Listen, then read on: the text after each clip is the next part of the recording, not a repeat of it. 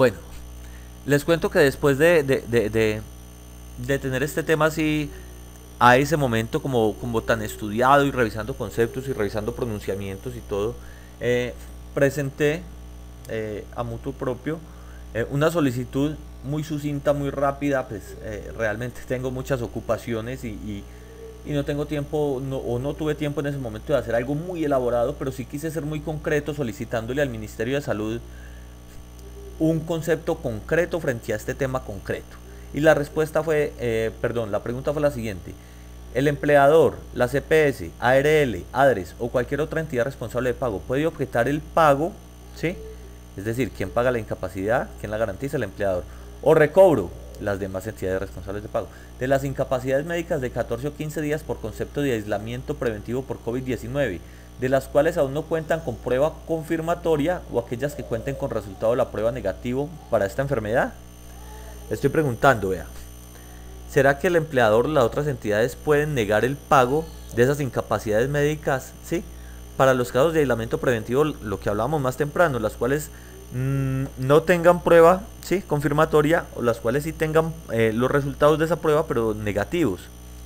Entonces le dije al ministerio, mire, de ser negativa esa respuesta, expresarlo claramente. Y de ser afirmativa la respuesta, es decir, que sí pueden objetar esos pagos, eh, indicar claramente quién estaría entonces a soportar esa carga, el trabajador, el empleador.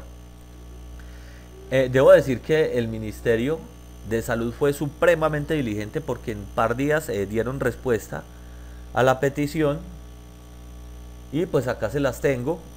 esta respuesta va a quedar acá subida en el canal, acá va a quedar a disposición de ustedes en... Eh, va a quedar a disposición de ustedes, eh, ahí dejo el link en la descripción del video para que pues, todos ustedes puedan fundamentar y, y de pronto en acciones de tutela o en las acciones de solicitud de reconocimiento, pues si la creen eh, pertinente anexarla. Entonces, pues acá me dan respuesta, señor tal, tal, tal, fecha, miremos la fecha, el 22 de mayo es decir, no hace cuatro días fue que me dieron respuesta. Sí. Entonces acá vemos la pregunta. Entonces dice el ministerio. Pues primero va citando toda la normatividad. Bueno, que. Bueno. Subsidio de incapacidad, sí. Precisado lo anterior, es importante traer a colación la normatividad sobre el reconocimiento del subsidio de incapacidad, sí. Tanto el, empleado, el empleador, sea privado o público, como el trabajador independiente, aseguran las contingencias por incapacidad para laborar mediante la afiliación obligatoria al Sistema General de Seguridad Social Integral. ¿Qué quiere decir esto? Que tanto el trabajador como el empleador, ¿sí? ¿Para qué pagan unas EPS? Pues justamente como para de alguna manera delegar, ¿sí? Las responsabilidades por todo este tema de incapacidades, que no les toque a ellos soportar ¿sí? esos pagos, sino que estas, eh, en este caso las CPS, para este caso concreto las CPS, eh, fungen, digámoslo así, no lo tomen eh, en sentido estricto, pero como un seguro, ¿sí? Cuando surgen estas situaciones de incapacidades, pues para eso el trabajador le está pagando la seguridad social, ¿sí? A la EPS, para que ellos se encarguen de eso. Además de garantizarle pues todos los servicios de salud, también debe garantizarle también el pago por las incapacidades, ¿sí? Entonces por eso dice así. Esta parte, bueno, seguridad social, si la incapacidad es derivada de enfermedad general o accidente de origen común a través de una EPS del régimen contributivo y si es de origen laboral por medio de una ARL, administradora de riesgos laborales. Esta prestación económica se reconoce y paga a quien tenga la calidad de cotizante. Ojo, mucho cuidado. Eh, e, esta incapacidad, ¿sí? Este subsidio de incapacidad se paga solamente a afiliados al régimen contributivo en calidad de cotizante. No es que los afiliados al régimen contributivo en calidad de beneficiarios van a reclamar incapacidades, ni mucho menos, no por ser eh, eh, de cualquier eh, manera como, como desigual, no, no, nada que ver, sino que a las personas afiliadas al régimen subsidiado pues tampoco les cancelan, ¿sí? este concepto de incapacidad solamente, repito, se cancela a los afiliados al régimen contributivo en calidad de cotizantes.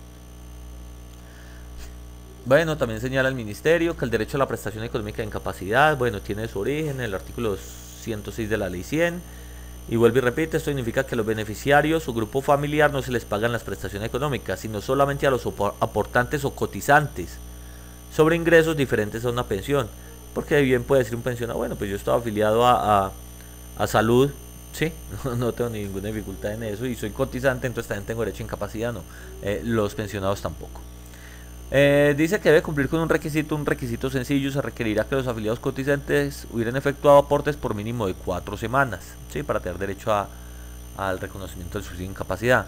No habrá lugar al reconocimiento de la prestación económica de la incapacidad por enfermedad general con cargo de los recursos del sistema, cuando éstas se originen en tratamientos con fines estéticos o se encuentren excluidos del plan de beneficios y sus complicaciones, o con eso.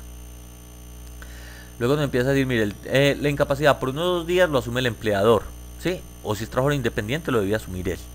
Pero entonces, básicamente, del tercer día al día 90 lo paga la EPS, ¿sí? Eh, ¿Sobre qué cotización? El 66,66% del salario que devenga al trabajador. Ahora, si gana un mínimo, esto nunca debe ser inferior a un mínimo. Si gana un mínimo, igual deben garantizar el mínimo, ¿sí? los días proporcionales. Eh, del día 91 al 180, eh, debe reconocerse el ingreso base de liquidación del 50%. Y no puede ser tampoco inferior al mínimo y lo reconoce y paga la EPS, ¿sí? Tiempo de incapacidad 181 a 540 días lo reconoce la FP, la administradora de fondos de pensiones a que se encuentra afiliado el cotizante. ¿sí? Incapacidad superior a 540 días. Eh, se debe pagar sobre el 50% eh, del salario base de liquidación sin que sea, volvemos a reiterar, en ningún caso inferior al mínimo. Eh, y se paga obviamente en proporción a los días. Esto lo reconoce y los paga la EPS. Ahora nos dice, eh, esto es cuando lo que vimos cuando sea por enfermedad general.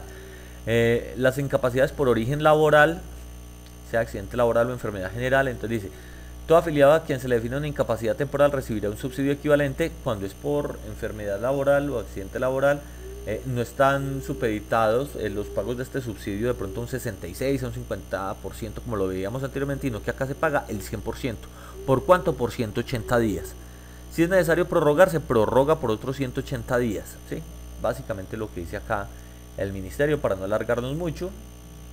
Igual les voy a dejar este documento acá en la descripción del video. Listo. Eh, luego dice el ministerio nos da el concepto de incapacidad. Dice, una incapacidad médica corresponde a aquella situación de inhabilidad física o mental de una persona para desempeñarse laboralmente durante un tiempo determinado en este sentido, en caso de presentarse una o varias condiciones médicas derivadas del diagnóstico, y acá viene lo interesante, ¿sí? de la enfermedad que estamos hablando, o cualquier otro diagnóstico, el médico tratante deberá expedir la correspondiente incapacidad médica. Está diciendo, ah, si tiene un diagnóstico relacionado, bien sea ese o relacionado con ese, el médico es libre de expedir la incapacidad médica que a su buen criterio considere. Y recalca ¿sí? la autonomía profesional del médico tratante, ¿sí? La garantía eh, que el profesional de la salud pueda emitir con toda su libertad su opinión profesional con respecto a la atención y tratamiento de sus pacientes. ¿sí? Acá lo reitera, ¿sí? está mostrando acá el fundamento legal.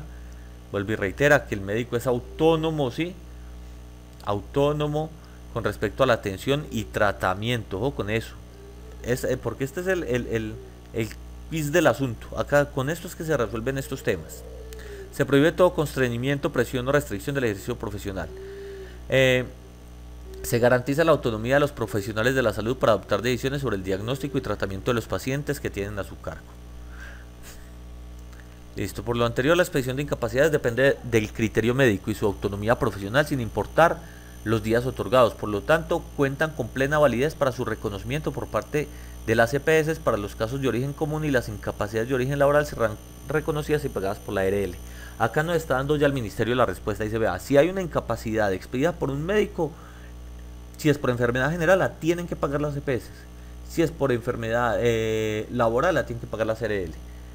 Para el reconocimiento de estas incapacidades, según lo señala el decreto legislativo 538 del 12 de abril del 2020, el Ministerio de Salud y Protección Social para la cobertura de incapacidades y de acuerdo con el reporte de información que suministran las EPS, podrá determinar si se requiere recursos adicionales por concepto de incapacidades asociadas enfermedades generales de origen común derivadas del diagnóstico confirmado por esta enfermedad, caso en el cual autorizará a la ADRES ¿sí?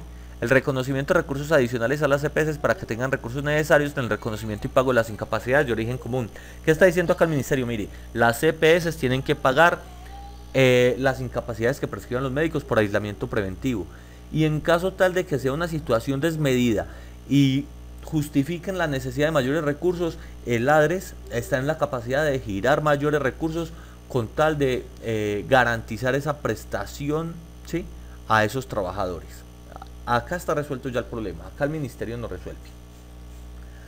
Eh, luego nos dice que cuando se va a aislamiento preventivo, ¿sí? sin que haya diagnóstico o sin que haya una incapacidad médica, pues claramente si no hay incapacidad médica, acá sí no estamos ante ninguna discusión, no hay lugar a la prestación. Si no hay incapacidad, no hay prestación, así de sencillo. Pero si hay incapacidad, si hay, si hay lugar a la prestación y se puede eh, ventilar este tema a través de una acción de tutela, pero bien estructurada, no como hizo este señor que perdió esa oportunidad. Bueno, todavía la tiene, pero, pero realmente así no me presenta una tutela y muy probablemente no la van a resolver favorablemente, no porque no tenga derecho, sino porque no la supo presentar. Cualquier persona puede redactar una acción de tutela, claro que sí, ni más faltaba, pero no cualquier persona ¿sí? puede presentar una acción de tutela en los términos, ¿sí? con los requerimientos específicos que requiere ¿sí? el aparato judicial para acceder a pretensiones más si son de carácter económico, ¿sí? porque se ponen acá una serie de requerimientos, hay que acreditar unas situaciones, hay que señalar otras, hay que dejar expresas otras, bueno, es un tema que requiere algo de, de, pericia técnica. Bueno, pues eh, ahí les comparto la respuesta del Ministerio de Salud. Eh, por último, muy brevemente les voy a señalar eh, este registro para codificación y reporte de enfermedades que sacó el Ministerio de Salud ahorita en 2020, a través de las cuales de instrucciones a, todas las entidades del sistema de salud, ¿sí? Con respecto a la codificación y reporte de esta enfermedad que estamos estudiando, para lo cual pues les establece una serie de códigos, ¿sí? ya que establece códigos para el virus identificado, ¿sí? virus identificado, virus no identificado, a todas le está dando diagnóstico. Es decir, no hay limitación en cuanto a que no, pero si tengo la, el, resultado y es positivo. No, a mí no me, eh, no me salió el resultado positivo y no que me salió negativo. No, para que a mí sí me hicieron la prueba, pero pues todavía no me han llegado los resultados o a mí no me realizaron la prueba. Todo eso está determinado acá en estos lineamientos. Y por último les quería hacer referencia también al decreto 676 del 19 de mayo del 2020, por el cual se incorpora una enfermedad directa en la tabla de enfermedades laborales, porque es que la ARL está diciendo, vea, lo que pasa es que eh, yo solamente respondo por las enfermedades laborales que están taxativamente, es decir, que están incluidas en la ley, ninguna otra, solamente las que dice la ley. Si no está en la ley, yo no la tengo por qué asumir. Y ese era el, e, el punto por el cual eh, las ARL estaban negando el pago de estas incapacidades, pues entonces ya, eh, menos mal, sí, salió este ya decreto ahorita el 19 de mayo, que incorpora justamente eh, modificación del artículo 4. A los trabajadores que presenten alguna de las enfermedades laborales directas de las señaladas en la sección 2, parte A del anexo técnico, se les reconocerán las prestaciones asistenciales económicas como de origen laboral desde el momento de su diagnóstico, sin que se requiera la determinación del origen laboral en primera oportunidad o dictamen de juntas de calificación de invalidez. Perfecto, sensacional. Será considerada como una enfermedad directa la enfermedad, acá está, virus identificado y la enfermedad, virus no identificado. Entonces miremos que ya no existe dificultad en establecer eh, que no, que es que a mí el resultado me salió negativo y entonces pues los 14 días eh, no me los van a reconocer. No, ya estamos viendo que en ambas partes, bien sea la RL, bien sea las EPS, eh, se están viendo abocadas a pagar porque se ha generado una presión positiva y en favor del trabajador en el pago de estas prestaciones. Obviamente la situación hoy no es totalmente pacífica, pero por lo menos ya se ha venido decantando en favor de los trabajadores. Eh, espero pues que el video esté un poco largo, pero haya sido de su agrado y sea, haya sido muy ilustrativo para todos ustedes, que este es un tema de mucha relevancia eh, hoy en día. Y pues nada, quedo atento a cualquier inquietud, eh, sugerencia, aclaración, ¿sí? acá en la capita de comentarios. Si les ha gustado el contenido del video, del canal, por favor dale me gusta y suscribirse para que estén atentos pues, a los temas que estamos subiendo con regularidad. Mil gracias por su atención y nos, vamos, nos vemos en la próxima.